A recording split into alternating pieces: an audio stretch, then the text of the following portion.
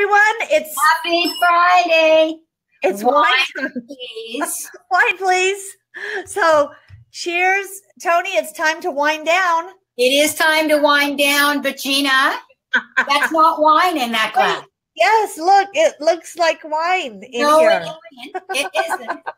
So here's the rule: it actually has to be wine. You don't have to drink it, but but you can't put grape juice or whatever that is. And I know this is actually purple carrot, pomegranate, some berry, some healthy thing my daughter made me drink. Um, Ellen, can I eat while I listen? Of course. I Of think we should eat. We need some. We need some cheese and crackers. Is what we need. um, hey, Kathy, and let's see who all who all do I see in my magic mirror here. Um, I'm seeing people popping in. Definitely let us know where you are listening from. What state or country? Tell us somewhere fabulous where you are. It's freezing cold in Denver, um, like in the teens, I think today. And so I've been I've been huddled inside for days. And and uh, it's warming up here actually in Montreal. It's kind of scary. It probably shouldn't be warming up. Yeah. Yeah. Well, I, I'm I'm all for global warming at this point. Um, Yeah. these months. I'm I'm all for it. And Toni, you've had a busy week of more video Yes. creation all week. video shoots all week, all week, all week. And we started a new series, or at least we recorded uh, the beginning of a new series, which I'm really excited about called That's a Great Question. Yeah. And uh, so it's uh, it's some of the questions from the Facebook group we already tackled. So uh, that's good. I'm excited. And I, I just want to give a shout out because I see so much content created, so much video content created, and a lot of people go on Facebook Lives and they create videos of them going on walks and showing their beautiful scenery. Your videos are meaty, meaty, oh, meaty, meaty. Like they Thank you. really do. They, they, I mean, we work together and yet every one of your videos, every one of your pieces of content provoke thoughts and make me think of what do I need to do to improve my business. So if you're not already following Toni's stuff, um, Toni Newman on everywhere. Well, it is interesting because there's a couple Toni Newmans. Yeah, Look a couple of for- Toni Look, look for the Toni Newman that looks like this. that looks like this. It's on, it's on YouTube when uh, we because we don't quite have it. We, we've we've put her further down the list just so everybody knows. There's a the beautiful woman out there um, who's a, a, a transgender woman who's also Toni Newman. And Yeah. uh, it, early in her career, not anymore, but early in her career, she made herself famous by talking about all of the celebrities she'd slept with, and so. clients would come to me with this look on their face. Hi, Bob. Clients would come to me with this look on their face and go, Yeah, Have you Googled yourself? Like, like, do you know? And I go, I know, I know, I know. and that that was one of our early goals is we need to get that Toni Newman's content pushed down by putting more. So you put out a lot of great content. So if you're not already following Toni, you need to do that. And this week, if you're not in Toni's group, um, this week you had some like very thought provoking, awesome discussions in the Innovators Advantage. No, No, see, I, I get, influential innovators.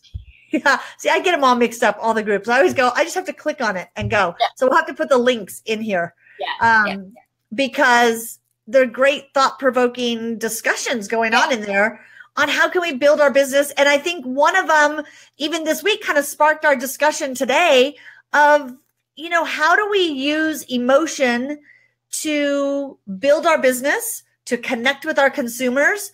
And you and I were talking about this, and we kind of have different spins on it. Um, What brought this up in your mind this week? Well, I have to say that it's in my mind all the time because one of our S's is seductive. Um, and so that is an S that's around uh, emotion. Um, and I was supposed to do that video this week. We have uh, a technique called play the emotions card and I didn't get there. So it was, it was front and center in my mind this week because I was putting that video together.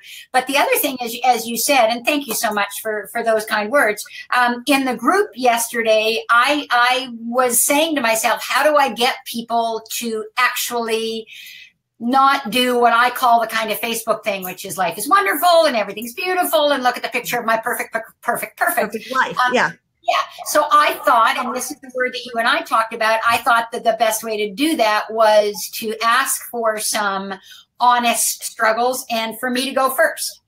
Uh, so I did. I went first. I, I, posted something that Jared and I really struggle with. Uh, the, the whole thought behind it is that uh, we have to ask ourselves tough questions and then we have to face the tough answers. So our tough question was, why don't we get more referrals? Not to be confused with testimonials, but what is it that we're not doing that we need to think differently about to get the kind of referral is that is somebody writes an email to somebody they know and goes, you need Toni or you need Gina. So right. it was exposing our struggle with that and, and the tough questions we were asking. And that launch, I don't think I've ever seen ever, ever that much interact. Like it was phenomenal. And every one of them was very thought provoking and very like, it made me go, gosh, like on yours referrals we have so many of the clients we work with that we've had to sign sign non-disclosures with that don't want people to know that we do stuff for them and so so we can't even get like they won't even tell people about us.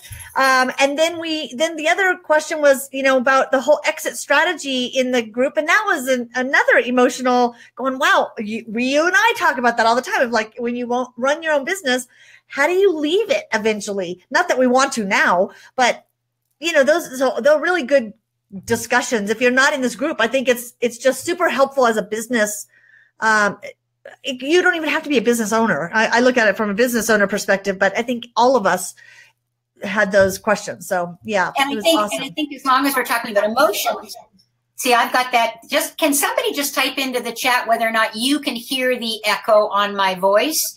Uh, I don't hear it because it, it, it kind of comes in and out.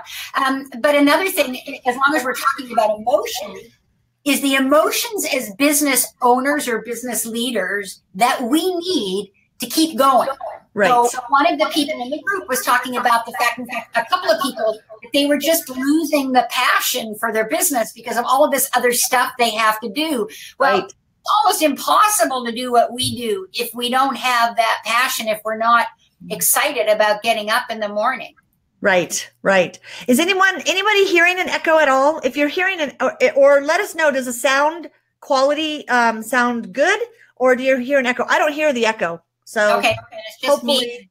Maybe it's just maybe it's in your head. Maybe, maybe all the video. Wine yet. yeah. Okay. Everybody, toast to Toni's uh, echo voice in your head. My echo. Okay. Let Let's get. Um, yeah. Let's Let's talk about. Um, now, I'll, I'll share one thing I got this week. I, I have multiple pairs of glasses. Oh, you hear the echo, able to discern what you're saying though. Um, so it must. Oh, now Ellen said the sound and image look good. No, so I don't know. Bob See, is drinking wine as well, and Bob, um, this is Sheena. Bob and I had a, an inside joke about my my husband always calls me Sheena, and Bob accidentally typed my name is Sheena, and so um, but it's in and out echo. That's interesting. So you may, you may, if you hear the echo again, Toni, I don't know if you have a headset handy, just little earbuds. Yeah. Um, you could plug those in and see. Um, so anyway, so I wear glasses. I get them from Warby Parker. I love Warby Parker. We've talked about them being a very innovative company. Um, but in the glasses, you get this little uh, cloth that you know to clean your glasses. But on this little cloth that says warby parker in a hundred words. It's their brand story. And every word has a number because they literally are counting and they did it in exactly 100 words. They told the story. But as they tell their story I just gonna I'm gonna read it quickly, but it listen for the emotional hooks in here because I felt like it immediately made me love their brand, even if I was new to them. It says, Once upon a time, a young man left his glasses on an airplane. He tried to buy new glasses, but new glasses were expensive. Why is it so hard to buy stylish glasses without spending a fortune on them? He wondered. He returned to school and told his friends, We should start a company to sell amazing glasses for non insane prices. We should make shopping for glasses fun, said the other. We should distribute a pair of glasses to someone in need for every pair sold, said a third. Eureka! Warby Parker was born. And now that is the 100 words. But down below in the epilogue, my favorite was it has a little thing about you just read our entire history in less time than it takes to wash a dish or consume six baby carrots at a responsible chewing pace. Not bad, 100 words. So they used humor They used um, they told the emotion of how they help other people, so the socially responsible. I thought I took it as a challenge. I sat down this week and was trying to write my not an elevator speech, and that's where I think some people get confused. This is not an elevator speech. This is who are they and what are they about? Mm-hmm. And, and can you do it in a story format that connects on an emotional level, whether it's humor, whether it's, and you and I talked about this, emotions can be all sorts of things. But I, I got it down to 167 words. I couldn't get it. I need to still edit um, down further, but I thought it was a great exercise. Can you tell the story of who you are and why you exist in hundred words? I don't know. I'm, I'm going to have to put that one to the test. Yeah. But and what, what I would, so hold that up again, the, the yeah. little thing. So this is everything that we talk about. Yeah. This is an unexpected encounter. This exactly. is not a better glass cleaner. This is a different glass cleaner, right? Look at what they did. They yeah. actually numbered all the words. Didn't they need did. to do that, but it was different. It was different and strategic. Look, they even numbered the words in the title. They got yeah. the little epilogue. They used emotions. So here's the thing. One, is it surprising? Absolutely. Two, strategic? You bet it's strategic. They told you all about what they do, including giving glasses to other people and that it's easy and that it's not expensive. Totally strategic. Seductive? Absolutely. Why was it seductive? Everything that you said, right? right. Because it's got a story. Sustainable? Well, here's the thing. You can get a lot of glasses from Warby Parker. And if every time your glasses show up, that one glass cleaner cloth is the same, right. eventually you will stop thinking it's surprising. Right. And it's really simple. So full, full 5S points. I'm so excited. And that one's going in my book.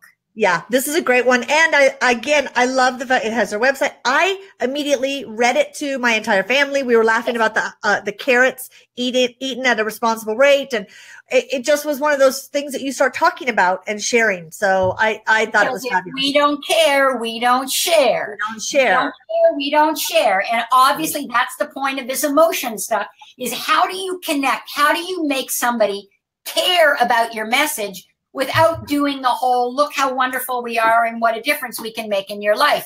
This is right. written in the third person for heaven's sakes. Like it's yeah. brilliant. It's, it's absolutely brilliant.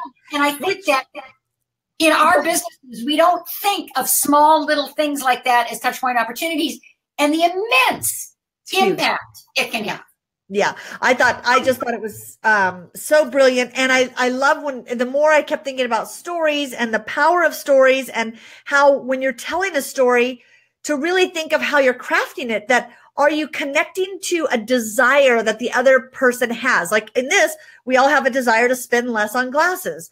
Um, we have a desire to help other people. So they met some internal desires. And i think a great story does meet an internal desire. There's a character in the story. There's a hero in the story that's solving the problem. These three characters in the story become, you know, these people who are helping solve the problem. But yet I'm also part of the story because I bought glasses. I'm a hero because I helped someone. And I thought, how do we do that in our own businesses? Are we writing and crafting our stories in such a way that we're connecting with people on those levels? So, um, a good challenge, I think, to do. But the, the word that I kept thinking of as being vulnerable, a lot of times in stories, and, and then I thought, I guess it's not really vulnerable, but you and I were talking about the different types of emotions that we can connect on. And you said, you know, what gets shared. Yes. So if we don't care, we don't share. I'm curious in our audience right now, the last piece of content you shared, what was the emotion? Was it something funny? So was it humor? Was it something that was sad? You know, a story of a dog. Um, hey, Jim, tuning in hey, from Jim. a little village in Mexico. Love it. See that emotion? We you just evoked happy in in me. Oh, I want to be. I, I, I, for me, we evoke envy. envy, yeah. I'm curious. So, everyone listening, I want you to type in the comments what was the emotion that you think evoked in you and that caused you to share a piece of content somewhere on any social channel, unless maybe you're a type of person you never share content. But I, I look at and go, humor is one that I see a lot people share.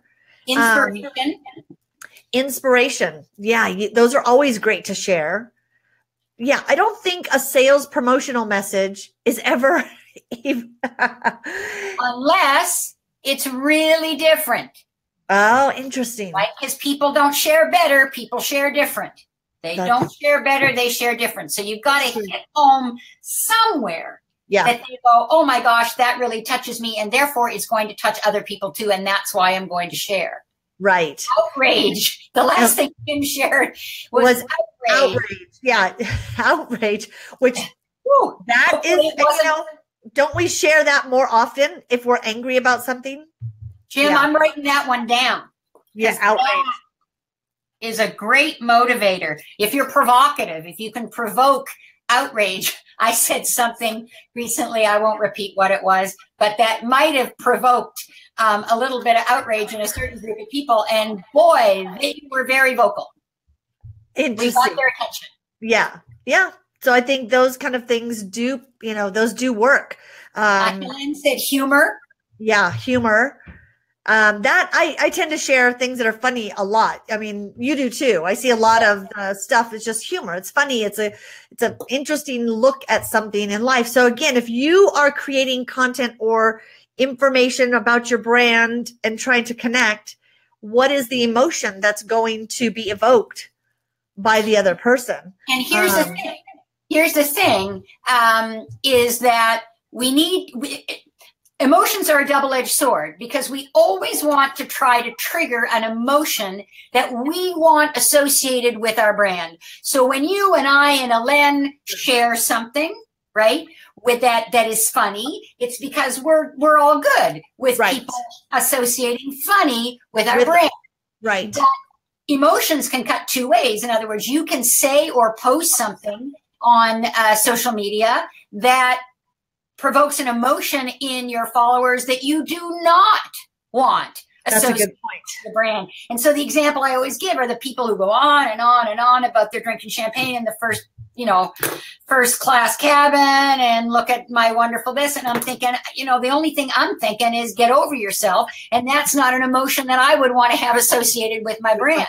Right. So emotions right. can have two uh, two very different uh, contexts. Now, Bob was saying something you had a chance to read. I haven't read it yeah. yet. The the conversation in your yeah. group yesterday that we were talking about is yeah that that emotional response. It was a, there was a lot of really good emotional triggers in those conversations that I thought um, was it again. It made me think and be introspective about my business and go, oh yeah, that you know that's true too. And this is a good point. But I uh. love what, what Bob said is that it inspired him to release inner thoughts and share because his experience might touch someone. Someone else. So, Interesting. Right?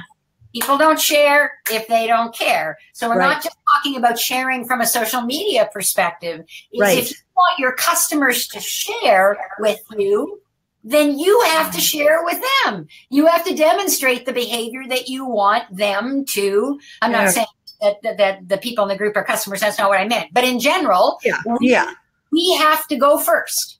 Right. Yeah. We have to go first. And I and I do think that is important for us to look at is how are we sharing those? Are we being more intentional to look at the emotions that could be evoked? When you said that some you know sometimes we evoke emotions that we didn't intend to. It just triggered in me. Every time i hear the subway commercial during the um olympics during the olympics they're playing subway commercials like every 30 seconds it feels like. And it's this head banging music that's like it makes me angry every time the commercial comes on. I'm going i'm sure that's not what they intended but i get angry every time the subway i don't get hungry i get angry. Um and- and I love and that and that's such a good point because they don't know that that they they haven't thought about the fact that putting that music and that commercial on so often in Canada we're not getting the subway commercial but by putting that on so often that they're driving people nuts and that's not an emotion they want associated with their brand which right. bring, brings me back to Jim's comment about outrage because I'd be really curious about I mean, I, am not expecting you to tell us, Jim, but but that may have been something that they wanted to provoke. So, for example, I can imagine somebody sharing something unjust that's going on in the world, and that right. Jim would share that because it's outrage. He he has outrage over that situation. A different situation might be we share something provocative, and people are outraged because we shared it because right. that's our opinion. And we might be fine with that outrage because that can stir up some debate too, but that's a different kind of outrage. When we post something provocative and when a brand posts something, one of the things we talk about in our work is brave brands take a stand. So that goes back to your your area, your CVS, right? right. There are people who are going to be outraged that they stopped selling cigarettes, uh, all, you know, in 2000. Right. But, but CVS was okay, uh, was okay yeah. with, with creating that emotion. Right. They they want to take a stand. Yeah. Yeah. Um, it, it's interesting. Yeah. Inspiration and great ideas always get, I mean, those get shared and spread because we hope to inspire others and we hope yeah. to spread that um, message. So, you know, then again, it makes us think about our, do we share content that's inspirational or is it just content? You know, I, I think I'm always looking at it from that standpoint of the content that we're creating, whether it's in our marketing materials, whether it's in our customer contact, whether whether it's in our emails, is there a way to be inspirational? There's um, there's a, a, gentleman that I follow religiously. His name is Jon Morrow, and if you do any writing, you should follow Jon. Jon is one of the most successful bloggers in the world, and I, I take his courses. And I went to a retreat with him. But Jon has a lot of, excuse me, a lot of successful blogs. But his most successful blog which is at this point, I believe, over 6 million views or something ridiculous like that, is titled How I Gave Up My Life, Moved Away, and whatever. And it's the story of his disease because he has, I believe it's multiple sclerosis. And it's a story of how his disease impacted his life. That article has been shared and shared and shared and shared and shared because it's a powerful story. Now, Jon has written a lot of blogs with a lot of great information, and they have been shared too. And as I'm sitting here talking to you, we're talking and I'm thinking, yeah, I haven't, maybe that's what we, you know, I haven't written a blog like that yet. I've been so focused on the content piece and delivering value. But sometimes what we don't realize is that blog that Jon wrote was the biggest value he could have given because of the emotional connection he made which there's there's my word vulnerable and this week something happened in my instagram feed that made me realize when i was looking at my instagram feed i thought i'm always looking for the perfect picture to take or i'm always looking for okay the perfect setting. I don't want to take it like i don't want you to see my floor because it has dog toys on it or you know whatever. We're always trying to make things look perfect. And i thought you know what's interesting is is when we share the vulnerable when we share the raw, when we tell the story of our failures, more people connect than any success that we can share or any great content that's helpful to them. It's those vulnerable stories that I think people just somehow they connect and they bond to you. So, and I made that commitment. I was like, I need to share more of that raw, vulnerable, um, I'm getting chills here because I know exactly. I know. I know exactly what I what I need to share that I've been resisting sharing. But it was really interesting. So, um, you know, some of the people watching or, or, or listening are in the speaking industry, and I I was at a speaking event the other night, and and the person giving the event said, which I agree with, the stage is not a place for therapy. I agree with that. Right. However, then they followed with. Um, you should only talk about your challenges, your struggles, if you have been victorious Right. And I put up my hand and I said, no, no, no, no, because there are struggles in our lives that none of us ever get over. I said, you can, you can share them when you are ready to own the struggle when you learn something from it. When you learn something from yeah. it, that, that you can acknowledge that this is a struggle and talk about it without being being vulnerable, without being emotional. But if the only time people got up to talk about shit, sorry, was was after they've accomplished it, like, yeah, I was on the street and now look at me, I make $32 billion a year. Right.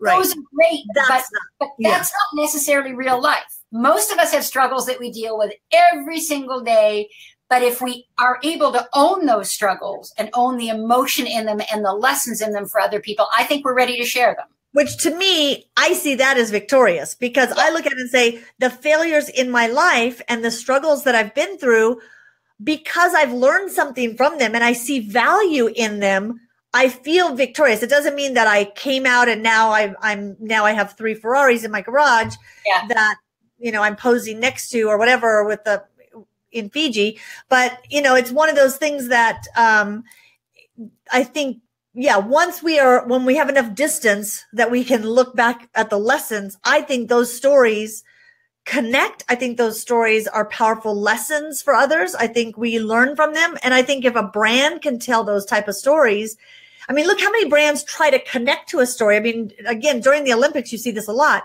that Toyota is trying to connect to. They show somebody that was born without a, yeah, and I like they're born without a leg and, and which which brings up another point is that there are certain things and certain emotions that actually make no sense with your right. brand. And, and right. if you're trying to force feed uh, the Olympics, it's like it's like the Oscars. Like it drives me freaking out of my mind. Yeah. At least try to find a way that it makes sense. Right. Yeah. Right. That is that is one that on there I go, okay, how they're t- trying to put a spin that that has to do with their brand. I don't know how they're making that connection, but you know, sometimes brands are trying to connect to a story that's not their own to tie into it. But how can we be, and maybe again, it, it does take being a little vulnerable to share some of those stories with others. Um, Jim says, um, there's a number of shares, likes that your post gets that make you believe your post was successful. Yeah. I, yeah, I'll I'll let you. I have an opinion on that one, but yeah. you can go. I I look at it and go. I I've gotten over the fact I don't care if one person likes or shares a post. I don't care. My thing is I want to put. I almost have started looking at my social channels as I want to look back in five years and almost see it as a journal of my of my journey. I want to see the lessons I've brought forward. I want to see the the tips that I've shared, the people that I've helped. I want to see the struggles that I went through. It's a journal for me, especially I look at tools like Instagram. It's a journal of what's happening. And I think being real and raw without caring how many people i mean there are some people that are so worried about they'll want you to remove things because it didn't get enough likes now that's probably more teenagers but um i, yeah, I think and, that's and I think we can fall into that trap, Jim, and I certainly have fallen into it, as Gina knows about. Oh, oh, oh, let's check. We had we had one video, and and it was an early video, and we posted it, and it got it, it shot up in very few days over two thousand views. So right it wasn't so much the number jim but what it what it did was it it it showed me it was the first video we'd launched so it reassured me that that there was value. Um, and then the next one we shared uh, we posted i think had 762 and then they bounced back and forth. And a great example for those of are are on the the call here today that were in the group yesterday if you look at it in spite of the fact that that was the most interaction i've ever seen i think there were 11 of us now there's 143 people in the group. So am I caught up, Jim, in the fact that it was the 11 of us and that it was the 11 of us who actually are the most active in the group? No, for me, I wouldn't have cared if one person shared right. the story. Now, right. if nobody had reacted, if I had put that out there and nobody said anything, I wouldn't have thought I wasn't successful. I would have looked at myself and said, I missed the mark. I, I missed the mark. Of what I thought my audience wanted yeah. Gina, in her brilliance and her social media, but we do social media to spread the word. Right. So if nobody is spreading anything overall, if it's not leading back to your website, and Gina's more of this expert, then if everything's going up there and like you hear crickets every single time, then that's not about the marketplace that's about the content you're sharing right and that's that's what i do look jim to answer that that um, point what is successful i think what is successful is that i'm sharing content that my audience wants to hear and that they need so my audience could be five people my audience could be 10 people my audience could be 100000 people um, i think it's am i am i gauging the content but not getting too caught up on it because you can get so caught up on it that then you lose sight of keep producing more great content um, and sharing with people and having discussions and starting relationships with these people, which is the intent to grow your business. But I think if we get caught up thinking a successful anything is one that gets a hundred thousand likes, it may not be. It may just be that it was hilarious. It's kind of like people who get on Oprah and they think that's going to all of a sudden make them a, a you know a billionaire, and um, they they get the exposure and they go back to being their normal self. And there's no, I mean, I, we have a friend of our family who is on Oprah playing guitar with Lenny Kravitz, and we and and he's today he's looking for a job. You know, yeah. so it doesn't mean because you're getting all the views And the other thing, Jim, that I do, and and obviously the people who say you need to follow the numbers is because it's in their best interest to follow the numbers. I never actually look at the number, I look at the percentage. So somebody could have 20,000 likes, but they've got 80,000 follow or whatever it is. I'm, I'm, I'm making shit up here, but it's what percentage of the people who follow them are connecting with their and, and, what do you want? That we have a small newsletter list. We do not have 80,000 people on our newsletter. We've got a high open rate, a higher than average open rate. That makes high. me happy. That makes me happy. So, Jim, well, think about percentages as opposed to numbers. And I, I always, I always say, go look at Seth Godin's um, Facebook page. He has a Facebook business page with like 300 plus thousand followers to it, but the percentage is very small of people who actually engage on there. But he's getting people that are reading his content in it, wherever they are. So I yeah. think that's another thing is we have to look at if it's helpful content. Um, is it where they can connect with it where they are? So um, I know we're getting to the end, but Elaine has brought up yes, this is yeah. a great point.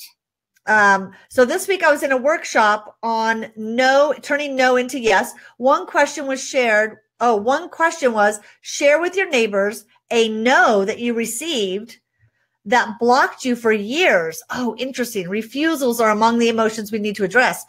Of yeah, when I mean it's kind of like the thing of you get a thousand yeses and one person says no, or you get a thousand people who like something and one person says no, and we we take that with us and carry that as a scar.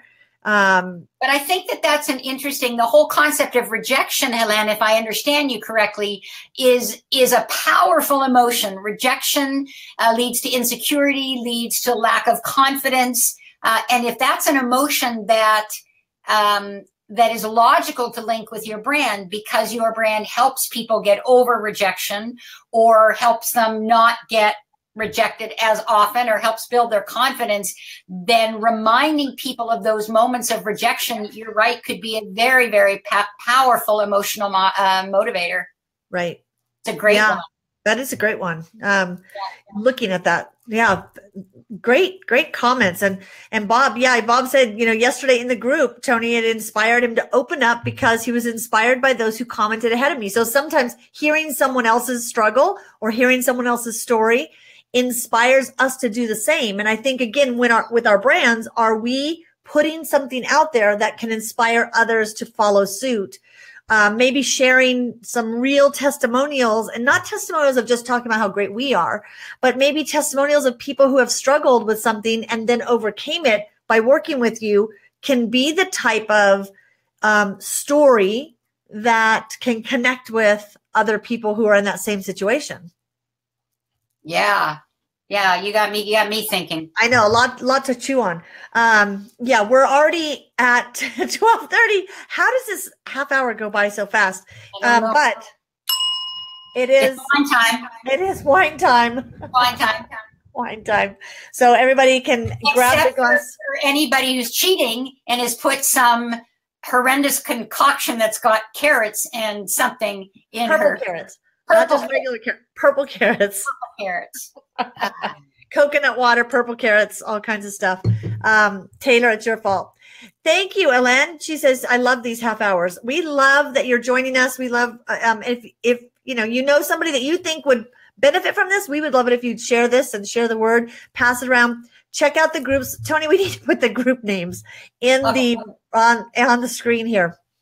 Yeah, um, you're the only person who doesn't know the name of my group and you're in it. In fact, I think you're an administrator of it. So you really have no I, I, I finally know the name of the group. I finally got the in, in, innovators in, inside. Influential innovators and DIY social. Influential innovators. Uh, these are too big. These words are too big for me. They're too big for me. I need simple words like Twitter. Um, Have a good weekend, everybody. Have a glass of wine. Jim, I'm jealous. You're obviously someplace warm. Uh, and that's awesome, I think. I'm jealous. Yeah, hopefully. Yeah. That's emotion. It's, that's it emotion. looks it looks awesome. He has a hard hat, so maybe he's going through the zip line through the trees no, he's right white. Whitewater rafting. I know. incredible company, whitewater rafting. So yeah, uh, like, it ties in so well. Um, are we okay. done? Yes. I think, I think. Everyone have a wonderful weekend. Have a wonderful weekend. Thank you. Thank you, everyone. Bye. Oh, and if anybody has any ideas of things they want us to cover on Wine Down, you Let can know. in DIY Social and or the influential innovators. Look, I just said it. Influential innovators group on Facebook. Bye, everybody. Bye-bye. Bye-bye. Bye-bye. Bye-bye.